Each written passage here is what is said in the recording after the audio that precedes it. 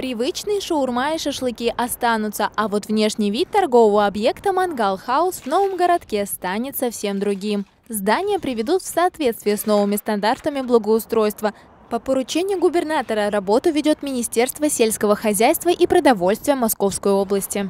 Собственник подал через э, портал э, государственных услуг заявку такую на комиссии э, при администрации было рассмотрено выданное решение. Э, новый фасад будет соответствовать э, правилам благоустройства, которые утверждены в городском округе Щелково. Особое внимание уделяют территориям, которые располагаются вдоль магистрали. Всего в красной зоне находится более 500 объектов потребительского рынка, свыше 200 из которых уже привели в соответствие. Для торгового объекта в новом городке уже разработан колористический паспорт. Цвета фасада будут нейтральными в серых оттенках. При его оформлении используют композитные панели, благодаря чему объект станет выглядеть современно и свежо.